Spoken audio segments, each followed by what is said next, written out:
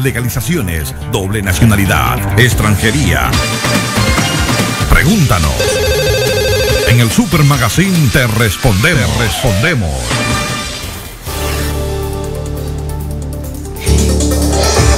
Estamos con la letrada Margarita. Margarita, muy buenos días. Buenos días. Feliz miércoles. Ahí, cuando ya llega el miércoles, como que nos alegramos un poquito más porque ya se vislumbra ya en el horizonte el viernes. Saltamos el jueves, pum, y llegamos al viernes. Así que usted, señora, aproveche que nos queda solamente este miércoles y el viernes para que usted resuelva sus preguntas. ¿ah? Llámenos inmediatamente al 968-353406 y salga de dudas. En el Super Magazine, la colaboración de Galvez Asociados. Ya estamos saliendo en vivo y en directo en el Facebook Live, así que usted puede, por favor, comparta esa transmisión. Muy buenos días, ¿con quién hablamos? Eh, buenos días, soy María. Adelante, María. Eh, mira, mi pregunta es, eh, yo vivo en un piso desde el 2014. Em, el dueño no está aquí y no está pagándose al banco. Pero yo estoy haciendo un eh, giros a Ecuador del alquiler. Ajá. Pero ahora ha llegado una carta del banco y el dueño nos ha dicho que en agosto va a venir a, a solucionar todo eso. Pero ya nos va diciendo varios, me- varias veces que ya no... Que va a venir, que va a venir. Sí. ¿Qué dice la carta ahora- del banco? La carta del banco dice que él tiene que negociar, o sea, como está debiendo de la hipoteca, que tiene que acercarse Ajá. a negociar. Ujú. Entonces, ya no sé, a nosotros como inquilinos no sé qué podría pasarnos. A ustedes les pueden desahuciar, claro. Vamos a ver. Lo que pasa es que para eso debe haber un proceso previo, ¿no? Ahora mismo la casa debe ser propiedad de este señor. Eh, yo creo, creo, ¿vale? Yo aún así, si usted quiere quedarse tranquila, puede usted sacar una nota simple del registro de propiedad que acredite de quién es la casa. Pero conforme usted me lo comenta, parece que el banco todavía no ha iniciado los trámites de ejecución, ¿vale? Contra el señor. Bien. Entonces, usted está ahí alquilada y le paga el mes pues a la persona, en teoría, mm, propietaria legítima de la vivienda. Ahora bien, si este señor eh, no tiene pensamiento de regresar a España y lo que está haciendo es, eh, que es una posibilidad, ¿no? Quedarse en Ecuador, ir cobrando el alquiler hasta que ya el banco se quede con la casa. Sí, eso es lo que pensamos nosotros también. Sí, es una posibilidad. En ese caso, yo como, como inquilina me plantearía dejar de pagar, porque al final es un dinero que usted está tirando a la basura, dejar de pagar al propietario y quedarse ahí hasta que mm, el banco la desahucie. Pero no por nada, porque al final parece que es lo que va a pasar. Es, Es decir, que que va a parece, pasar. parece que el banco no se va a negociar con él, entonces el banco iniciará un proceso de ejecución contra ese señor que está en Ecuador y al final eh, la casa se pondrá a nombre del banco y entonces eh, o ya sería el momento de hablar con el banco e intentar que mm, negociar un alquiler con ellos o bien nos desahuciarán. Pero cada uno se plantea, "F, ¿y todo este dinero que he pagado hasta entonces? Claro. Claro, entonces pues pensar en dejar de pagarlo. Margarita, pues también, ¿sabes qué? Me gusta el consejo que le das a la señora porque ese dinero, en vez de mandarlo a Ecuador, eh, lo va ahorrando porque si la desahucian va a tener que irse a otra vivienda y va a tener que pagar dos meses ante la- de antelación para irse a otro sitio a vivir. No, mire una cosa, no, nosotros ya dejamos de pagar, no, Ah. porque igual es que estamos desde el 2014, dejamos de pagar un año, no, no era un año, unos meses. Entonces, eh, él nos llamó, bueno, nos mandó mensajes y todo, que desocupemos el, el piso y todo eso. Claro, nosotros hemos buscado, nos hemos puesto a buscar alquileres y, y no hemos encontrado. Están carísimos todos, ¿verdad? Sí, están todos caros Sí. y estoy solamente yo trabajando, mi marido no y cosas así. Claro. Entonces, eh, claro, este nos dijo que si no pagamos el alquiler, que, que nos vayamos de casa. Entonces, claro, no nos tocó otra opción que seguir pagando para poder ocupar la casa. Entonces, ahora mismo, si otra vez dejamos de pagar, pues ya no sé. A ver, Ah. eh, si usted, eh, entonces, ¿cuánto tiempo lleva pagando seguido? Desde que lo retomó, digamos. Desde, desde, desde agosto del año pasado, o hace ya dos años, vamos pagando seguido. ¿Y los meses que dejó de pagar los ha reintegrado o no? Eh, no, Eso quedó como cosa perdida para Tiene él. una deuda, Sí. ¿no? Yo me, yo me cogí el dinero, me lo ahorré en el banco porque igual, o sea, me lo dejé ahí, pero que Muy pagar bien. no hemos pagado. Pero son muy pocos meses, que tampoco son muchos. Ya.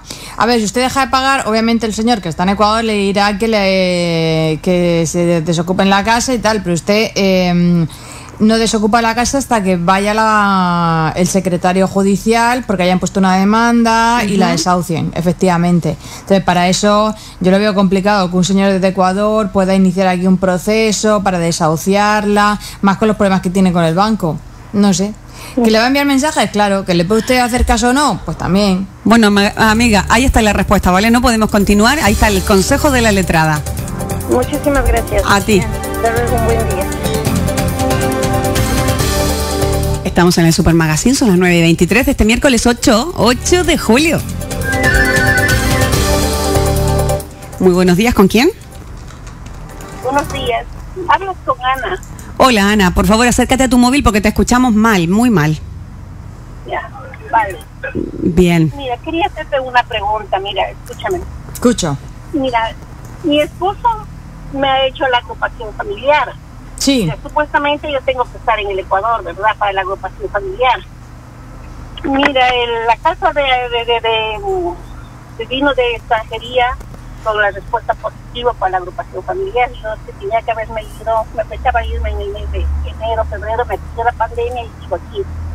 Yo estoy esperando los vuelos que haya para poderme regresar. Ujú. prohibí. ¿Y mm, qué puede pasar en el peor de los casos con los papeles míos, de con esto que aprobaron en extranjería, tú sabes? Sé poco, sé poco. Eh, tengo que pensar. A ver, usted está en España, ¿no?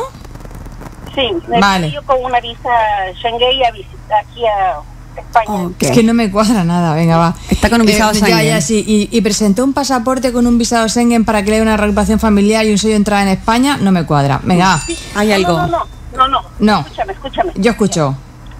Yo vine a visitar a mi esposo con una visa Schengen, ¿Eso cuándo? pero los papeles yo ya los metí antes. Ajá. Mi esposo los metió antes los papeles. Para reagruparla. Sí, para reagrupar, sí. La visa eh, Venga, vamos a ir por partes. ¿Cuándo metió su, pa- su marido los papeles para reagruparla? metió en el mes de, Venga. de octubre. ¿En octubre del 2019? Sí. Vale. Entonces, usted, en vez de esperarse a la resolución de la agrupación familiar, se viene a España con un visado Schengen, ¿no? Sí, yo me vine con un pisado Schengen. ¿Cuándo vino? Dígame la fecha. Yo vine en noviembre. En noviembre del 2019, al mes prácticamente, qué poca paciencia tiene. ¿Y cuándo salió la carta? Me salió la carta en marzo, es que yo pensaba volverme enseguida. Que usted, no me, no me cuente cosas, no me cuente cosas. ¿Cuándo le salió la carta? Me salió la carta el 30 de marzo. El 30 de marzo, vale. Entonces, claro, en teoría, eh, usted está en Ecuador, porque ellos no saben que ha cogido un pasaporte y tal, vale, usted está en Ecuador. Y, el 30 de marzo tiene dos meses, del 30 de marzo al 30 de mayo, para pedir un visado. Pero claro, podemos decir que por el tema de la pandemia todo está parado. Los plazos procesales, los plazos administrativos se, se reanudan el 1 de junio. 1 de junio y dos meses, 1 de agosto. Yo creo que puede acercarse al consulado de Ecuador, em, perdone, al consulado de España en Ecuador sin problema antes del 1 de agosto, porque cuando le comunican esa carta de 30 de marzo no, no, no empieza a correr ningún plazo, empieza a correr el 1, el 1 de junio. ¿Cómo iría yo? Es, eh, escúcheme, que habla mucho pero no escucha, ¿vale? Cuando mm, eh, con ese pasaporte que tiene, usted vuelve a Ecuador, ¿vale? Ese, ese pasaporte lo deja en Ecuador y se saca uno nuevo en Ecuador, ¿vale? Y con ese pasaporte nuevo que se saca en Ecuador diciendo que ha perdido el viejo, pide el visado de reagrupación familiar en régimen comunitario, perdone, en régimen general. Tiene hasta el 1 de agosto. ¿Vale? Que no sé si es que allá todavía la embajada no está. Yo creo que sí, ¿eh?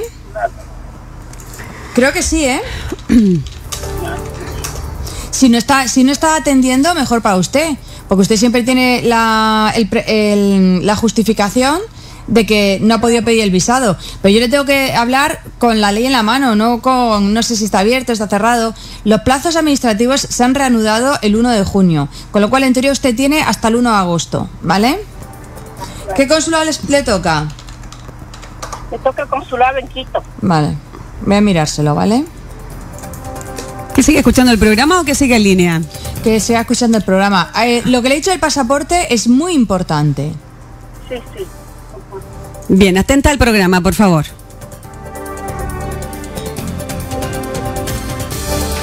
Son las 9 y 28 minutos. Estamos en el programa El Super Magazine a través de Super Mix FM, a través de todas nuestras señales.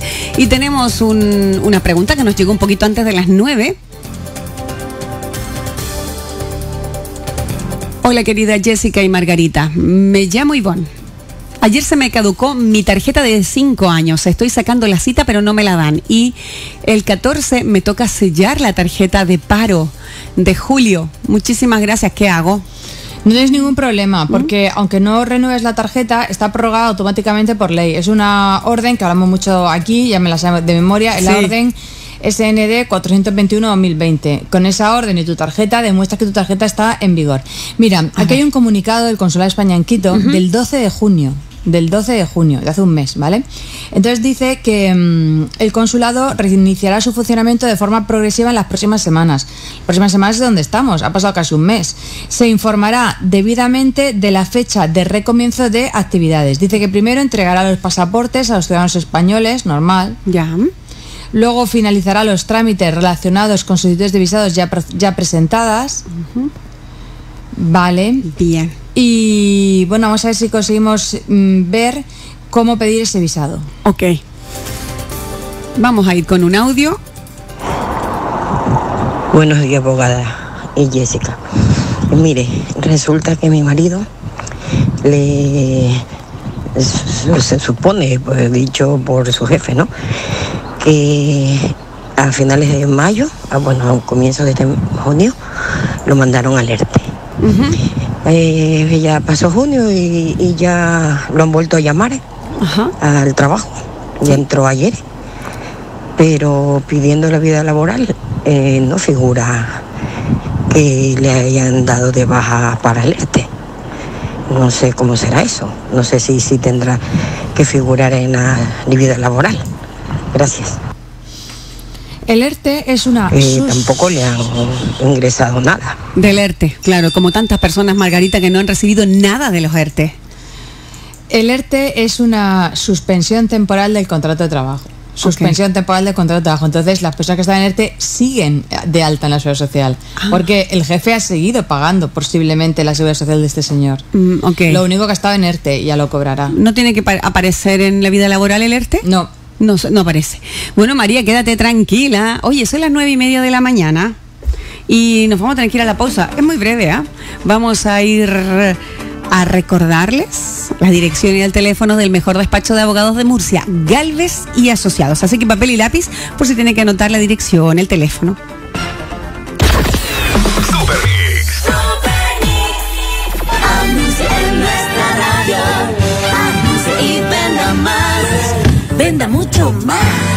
644-486-598.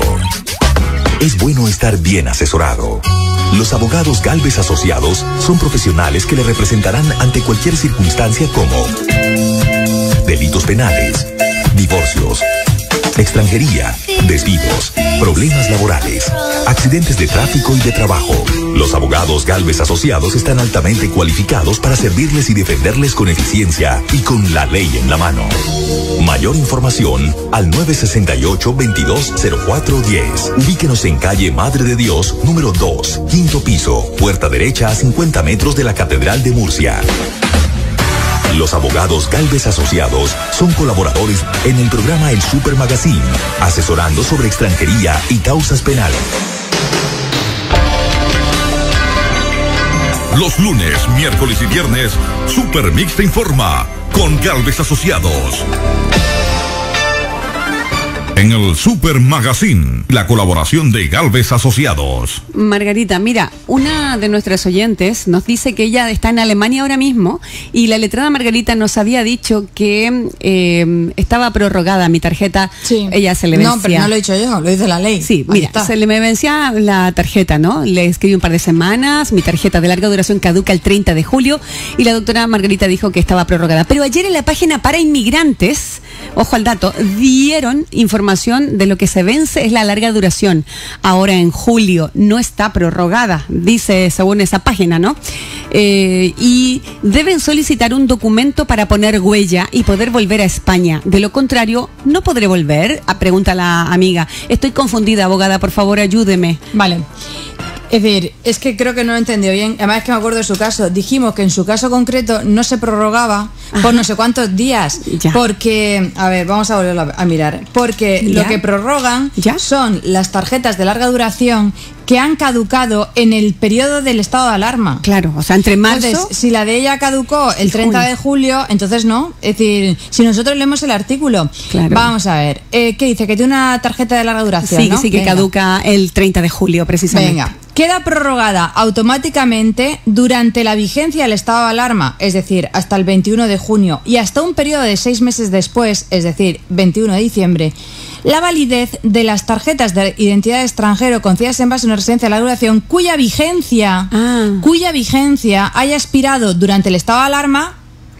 Que ya no es estado de alarma el 30 de julio. O en los 90 días naturales previos, lo dijimos el otro día. Uy. ¿No te acuerdas que llamó una señora? Sí, y lo explicaste. Entonces, ¿qué puede hacer esta amiga? Tiene que entonces ir a la. Tiene Yo que. decía, vamos a ver, está en Alemania. Yo creo que para salir de Alemania no le van a poner ningún problema. ¿Qué problema le van a poner si se va? El problema es para volver a entrar. Y deben solicitar un documento para poner la huella. ¿Dónde tiene que solicitar ese documento para poner la El huella? documento para poner la huella es la cita para poner la huella. Ah, y No tiene volver a otra, España. claro.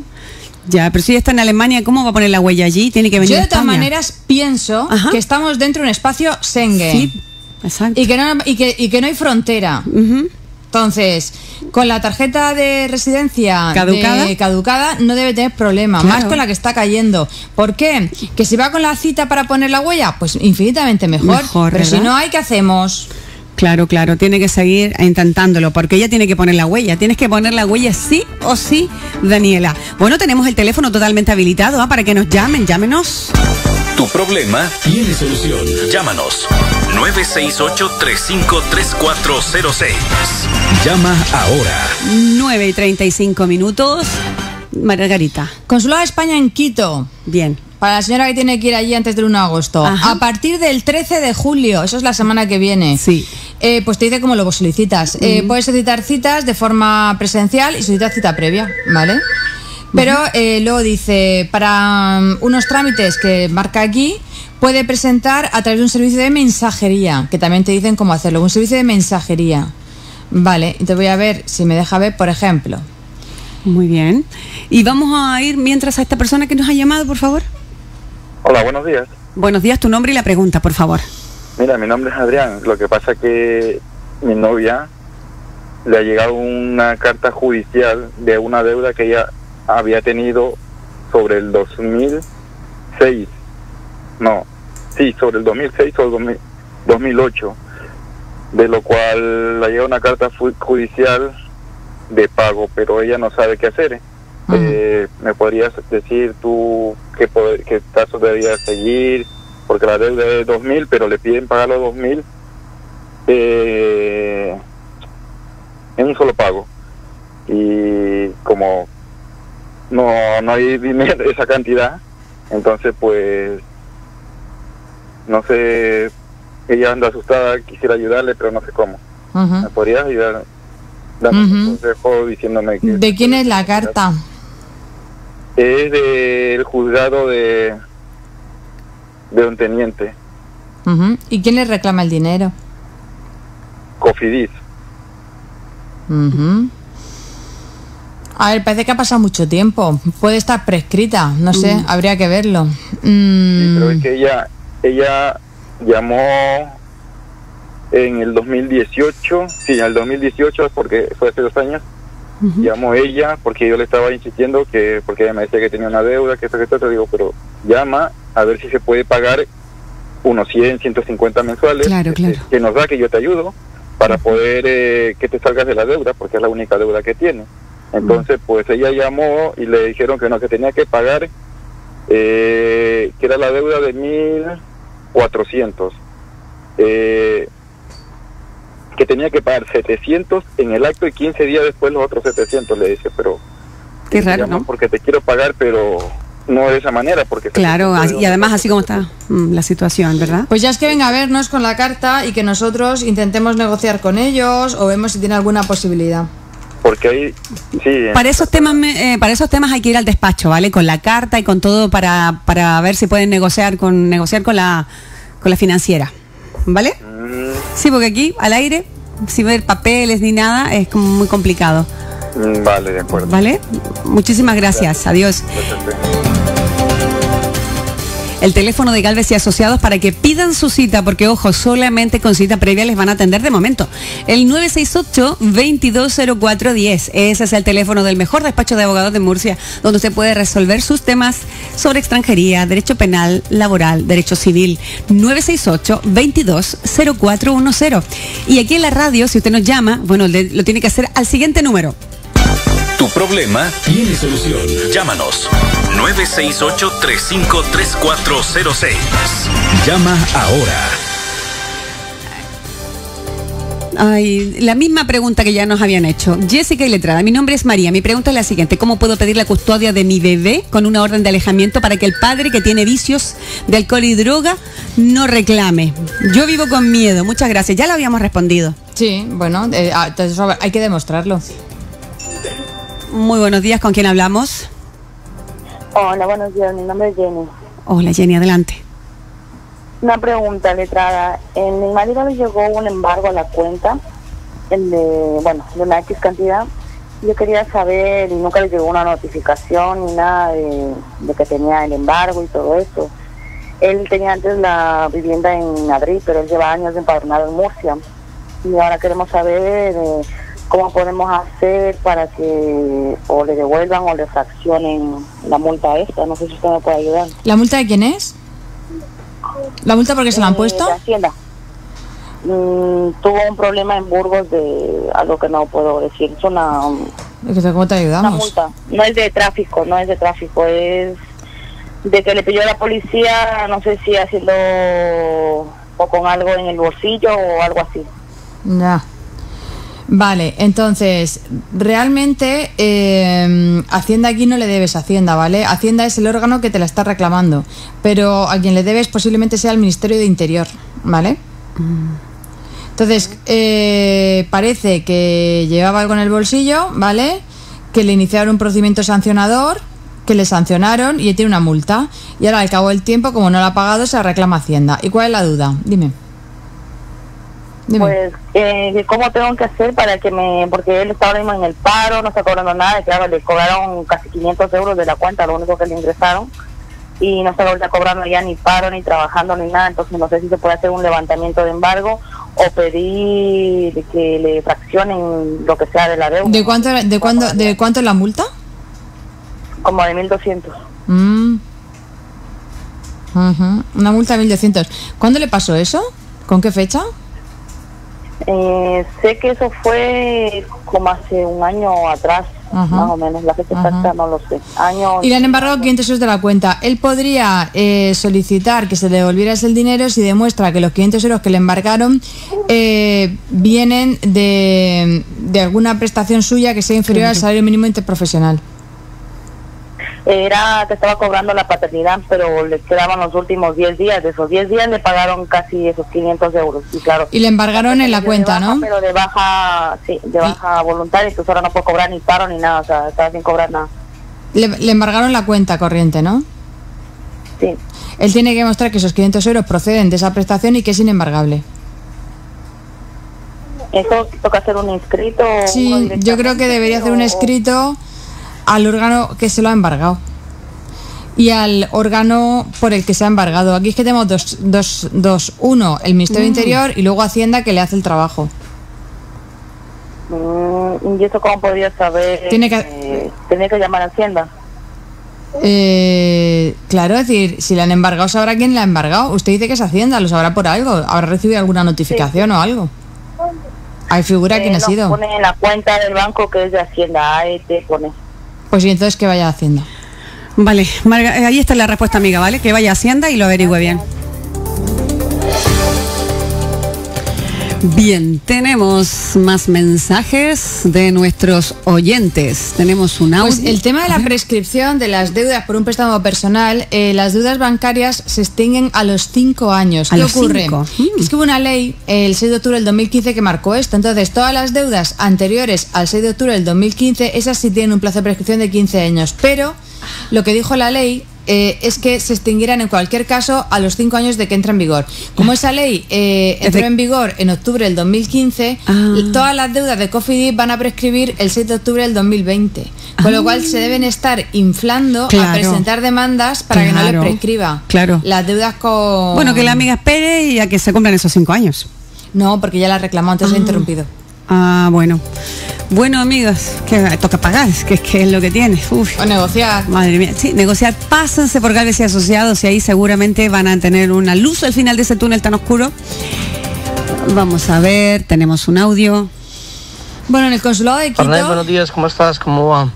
Yo quería hacerte una consulta, por favor, a Para la abogada. requisitos necesito para sacarle la tarjeta comunitaria a mi madre. Pues mi madre ya vive un año conmigo y hace un año está empadronada conmigo en la misma casa. Eh, por cuestiones de que no pude, eh, el dinero que yo le mandaba a mi mamá allá a Colombia se lo mandaba a nombre de mi tía. Uy, muy mal. Entonces por eso no pude meterlos antes. Entonces me habían informado que pasado un año, ya sabiendo conmigo, ya podía meter la- la- los papeles. Es así, es así. No exactamente, porque te van a pedir que acredites que, vi- que vivía a cargo antes de entrar a España. Claro. Solo se me ocurre que presentes los envíos de dinero, que presentes una declaración jurada de la tía que diga que era para mantener a tu madre y que mm, y que lo presentes con medios de vida tuyos, como que estás sosteniendo a tu madre con el contrato al crear tu nombre, con el seguro médico que es necesario, el seguro de enfermedad en el que tú seas el tomador y ella la asegurada. Bien, bien, bien. Bueno, ahí está la respuesta para este el amigo. consulado de Quito funciona, ¿eh? Funciona, qué bien, qué bien, Margarita. Eso es una buena noticia. Tu problema tiene solución. Llámanos 968-353406. Llama ahora. Estamos en el Super Magazine. En la radio más social, más entretenida. Mm, Super Mix FM, la mejor. Hola, buenos días. ¿Con quién hablamos? Buenos días. Buenos días. Quiero hacer un par de preguntitas. Bien. Eh, la primera es, eh, tengo un hermano que se fue hace 11 años al Ecuador con el retorno voluntario. Él tenía la tarjeta la, de larga duración, entonces ahora quiere volver para acá. La primera vez que presentó lo denegaron ahí en, eh, en la embajada. ¿Por qué? Algo mal. ¿Por qué? ¿Por qué? ¿Por qué la denegaron? Le faltaba un documento o cuando él presentó el documento estaba caducado o algo así. Y entonces ahora, ¿cómo puede hacer él para presentar otra vez? Si es que de aquí me pueden ayudar o, o cómo se puede hacer. Sí, hay que presentar otra vez. Eh, Claro. claro que te podemos ayudar. Y en Galvez y Asociados saben cómo hacerlo. A Galvez y Asociados, pero a la pregunta, ¿puedo volver a presentarlo? Claro que sí. Sí, sí, sí. Y con Galvez y Asociados lo más probable es que tu hermano pueda volver con su tarjeta. ¿Qué consulado es? ¿Quito también? Vale. Sí, per- eh, perdón, y la siguiente pregunta es, mi sobrino, él es nacido aquí, tiene el DNI de aquí, él es eh, español, pero ya cumplió la mayoría de edad y tiene caducado el DNI. ¿Puede venir a renovar sin ningún problema? ¿Que está en Ecuador? Sí, está en Ecuador. Lo que tiene que hacer primero es tramitar el pasaporte español en el consulado de España en Ecuador. Una vez que le den el pasaporte, viene a España, pero que no venga a España para renovar el DNI, que no hace falta eso. No, no le hace falta. Me imagino que se inscribió previamente allá cuando llegó hace 15 años. Se inscribió como ciudadano español residente en Colombia. Aunque no lo... Ecuador. Bueno, eso en Ecuador. Él allá puede sacar su pasaporte, ¿vale? No es necesario el DNI para andar por la vida, salvo cuando venga a residir aquí. Aquí solamente le va a servir el DNI. Mm. Ah, ya está. Y no tiene ningún problema cuando venga para renovarlo, ¿no? No. No, para nada. Vale. Muchas gracias. Un abrazo, que estés muy bien. El Super Magazine con Galvez y asociados abogados que están en el centro de Murcia solamente te atienden con cita previa en la calle Madre de Dios, número 2A, quinto piso, puerta derecha, pero ojo, ah, como cita previa. Muy buenos días por la mañana. ¿Con quién hablamos? Buenos días, con Henry. Adelante, Henry. Eh, abogada, buenos días. Tengo Buenos una días. inquietud. Dígame. En su momento, hace 14 años, compramos una casa. El banco nos prestó el 100% para comprar la casa, mm, con incluido lo que eran los gastos eh, notariales. Resulta que ahora llega una carta de Hacienda que dice, pues más o menos, que no coincide el préstamo con el valor de la casa y nos cobran 800 euros. Pero es que la diferencia fue que se pagó en, en- en los gastos notariales. Ah, ¿Se esa puede recurrir diferencia. algo ahí? Está complicado. Normalmente eh, Hacienda no se suele equivocar. ¿Sabes? Ganarle y a por, y Hacienda. por- y por una y al final yo, yo entiendo que 800 euros es mucho para vosotros, lo entiendo perfectamente, Claro. pero para una reclamación no. Entonces, al final no creo que compense buscar un abogado para este tema. Claro, porque tiene que ser con abogado. Posibilidades, sí, bueno, sí, con unas posibilidades tan claras de, de perder. Porque, a ver, esto, ¿por qué me dices que te reclaman 800 euros? Repítemelo. No, porque digamos la cara se compró en 165 mil, 170 mil euros. Y, y la diferencia a 180 mil que nos prestaban fueron los gastos notariales, que fueron como 12 mil euros, algo así. De lo que se escrituró, del valor que se escrituró al préstamo hay diferencia. Pero esa diferencia fue lo que se pagó en la notaría. Por eso nos prestaron en el banco el 100%. Uf, va a tocar pagar Margarita lo más probable. creo que sí. es que Eh, es tan difícil ganarle a Hacienda. ¿ah? Sí. Sí, complicado. Sí, pero O alega, o alégalo tú, haces tú un recurso como ciudadano y alégalo a ver qué te dicen, ¿vale? A- hacer un escrito y enviárselos a ellos explicándoles esa situación. Ujú. Ujú. y aducir, pues, adjuntando los recibos que tenemos de, de los pagos notariales y todo. Ujú. Ah, vale, doctora, yo le agradezco mucho, muy gentil. que, te- que os vaya muy bien. Muchas gracias y feliz día. Gracias igualmente. En el Super Magazine, la colaboración de Galvez Asociados. 11 minutos, ¿ah? 11 minutos nos separan de las 10 de la mañana. El chamo manda un montón de mensajes. Hola, buenos días. Eh, una pregunta para la doctora. Eh, yo tengo un hijo de 16 años, va a cumplir 16 en septiembre. Eh, yo me lo traje pequeño de 5 años con el pasaporte. El pasaporte lo tiene vencido. Es Y entonces ahora le queremos tramitar documentos. ¿Cómo se podría hacer? Porque ya a su madre le han dado la nacionalidad esta semana. Ah, Entonces nosotros te- queremos hacerle los papeles al, al nene. ¿Cómo se puede hacer en ese caso? Porque él tiene el pasaporte vencido y nunca ha puesto huella en Venezuela y no tiene carnet de identidad ni nada de eso. Y en el consulado de aquí de Venezuela, pues no le tramitan el pasaporte porque como no tiene carnet de identidad, Claro, no porque puede. él nunca ha puesto huella, yo me lo traje de cinco años y entonces yo necesito tramitarle los papeles antes de que él cumpla 18. Su madre trabaja, yo trabajo, ¿cómo podría ser, doctora? Ayúdeme. Y en el y aquí en España, si tiene el pasaporte vencido, pues no le tramitan la documentación. ¿Qué puede hacer? Y entonces eh? pues no podemos hacerle los papeles. ¿Qué se le puede hacer a este chico? Él tiene dos posibilidades. A ver. Eh, una posibilidad es sacarse su pasaporte venezolano. ¿Que no puede? ¿Que no. es imposible? Pues entonces solo le queda otra posibilidad, que es pedir una cédula de inscripción.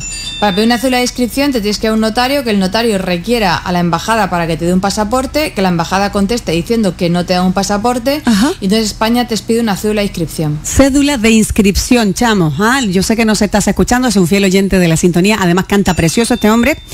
Eh, Margarita, mm, para eso necesita ir a un notario, tiene que ser Notario, asesorar. tiene que ir a un notario. Vale, a un notario, para que pida una cédula de inscripción, que ellos se la el remitan. notario tiene que hacer un acta de requerimiento. Acta de requerimiento. Quédate con el nombre del, del trámite que tienes que hacer, eh, chamo, por favor. Y está grabando un audio. Ah, seguramente será de agradecimiento, a saber. Bien, llámenos. ¿Tenemos a alguien? Hola. Hola, buenos días. Hola, tu nombre y pregunta, por favor. Eh, mi nombre es Edgar. Adelante, Edgar. Mira, lo que pasa es que me salió la resolución de la nacionalidad Qué maravilla. ¿Y qué te dicen? y me salió denegada. Ah, no, qué mal. Me salió denegada y pues me ha llegado esta semana, es que yo lo veo en el... in- ¿Cómo va lo mío? Sí, Uy, y me sale que me sale denegada. ¿Qué es lo que puedo hacer? ¿qué puedo hacer, Margarita? Bueno, ¿por qué te lo han denegado? ¿Sale algún motivo?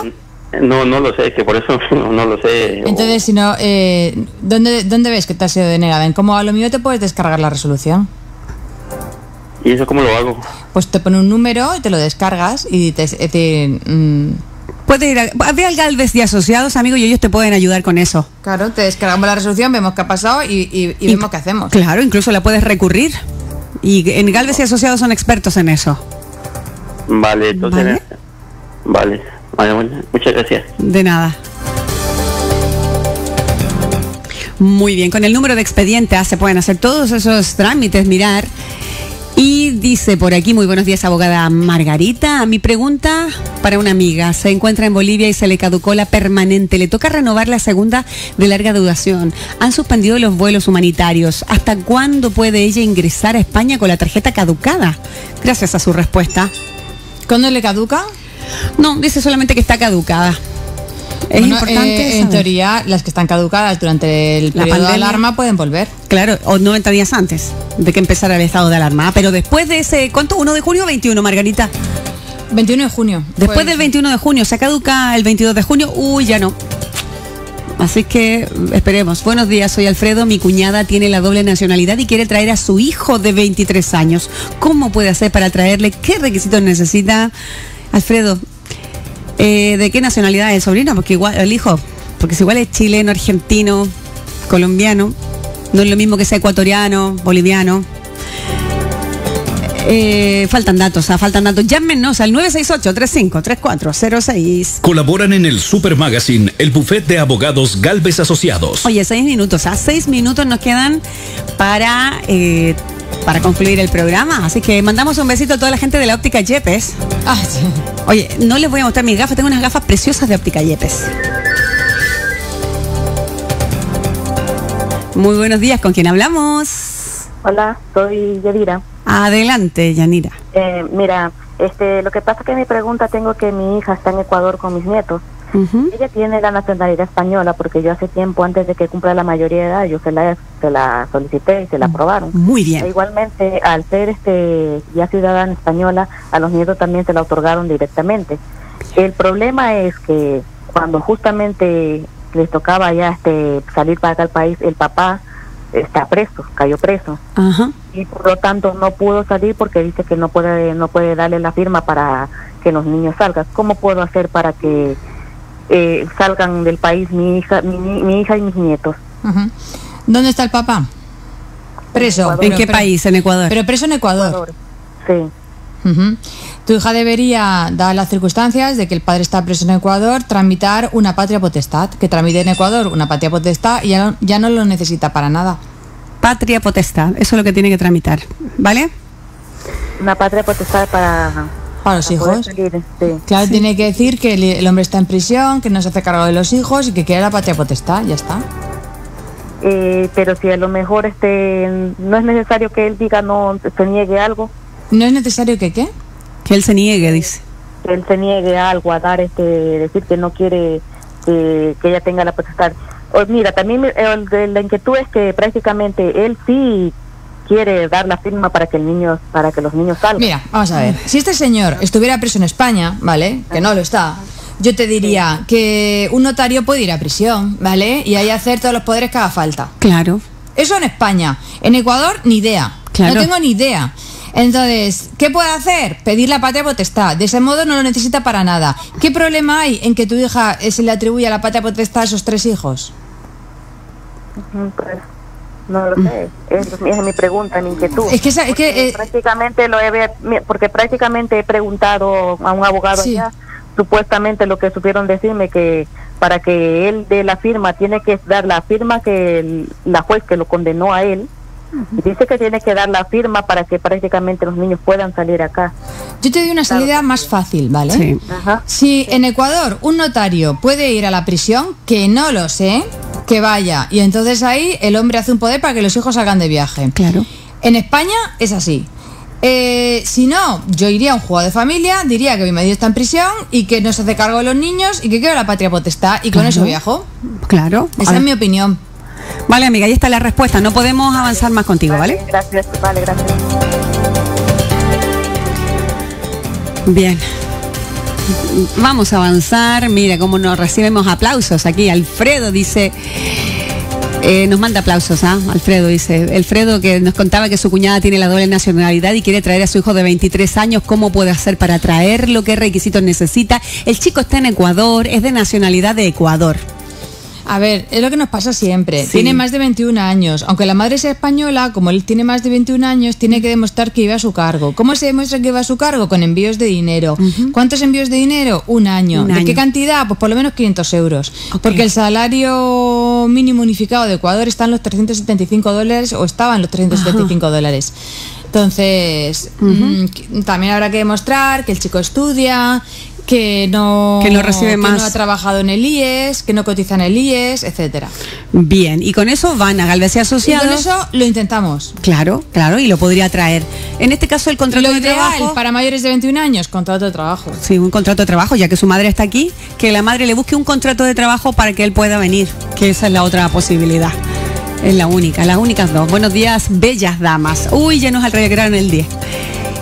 Eh, una pregunta, tengo los papeles ya hechos por la agru- reagrupación familiar desde antes de la cuarentena, tengo ya todo desde ese mes. ¿Esos documentos se caducan? Esto también ya nos lo había preguntado. ¿Eso se caduca? Esto es para Bolivia, muchas gracias, soy Carlos, felicidades. Yo creo que en teoría, desde el 14 de marzo hasta el 21 de Junio. junio, no caduca nada. No, no lo pueden tener en cuenta porque no lo podías presentar, aunque sí que es verdad que se podía presentar telemáticamente, pero no sé. Yo creo que. Pero certeza total No, no, hay, no ¿no? hay. No hay certeza, amigo. Así Es que, que no llega a hablar, el Real Decreto que declara estado de alarma, no- mm, creo que no llega a hablar de la caducidad de los documentos. Voy a mirarlo. Mm, Vale, vale, Margarita. Estamos en el Super Magazine. Saludamos a los que nos están viendo en el Facebook Live. Aquí lo estoy viendo. Vamos a saludar a todas estas personas. Uy, tenemos preguntas también. Katy dice, buenos días guapísimas. Katy Lino, muchas gracias. Franklin Totti, saludos desde Alguasa, nos dice.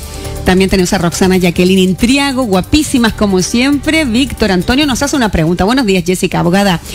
Me llamo Antonio, felicidades por su bonito programa. Le sigo desde Ecuador. Mi pregunta es, yo hice el retorno, ya estoy dos años en Ecuador. Me dijeron que después de tres años puedo volver a España. ¿Qué trámites tendría o tengo que hacer? Eh, la tarjeta de residencia se caduca en el 2022. Vale, pero tu tarjeta de residencia, aunque se caduca en el 2022, no la tienes porque la entregaste, me imagino, para cobrar el retorno voluntario, porque ha dicho que este se fue por retorno voluntario. Te Mm. falta un año de provisión, de compromiso, no retorno, mejor dicho.